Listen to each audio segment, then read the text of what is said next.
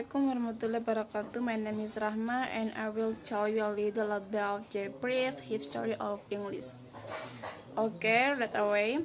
The history of English began with the birth of English on the island of Britain about 1,500 years ago.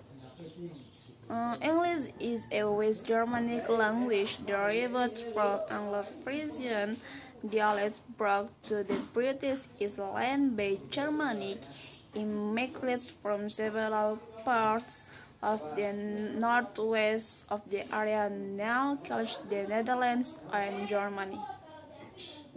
At first, Old English was a group of dialects that reflected the, the first origins of Anglo-Saxon kingdoms in England. One of these kin one of these dialects finally West Saxon would dominate. Then the original Old English was then influenced by two waves of invasion. The first wave of invasion in the in the invasion of language speakers from the Scandinavian branch uh, of the German language family. The Britain in the 8th and 9th countries.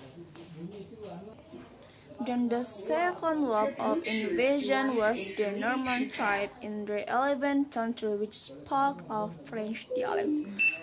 Part of this invasion caused English to mix to some to some degree, uh, although it never became a literal mixed language.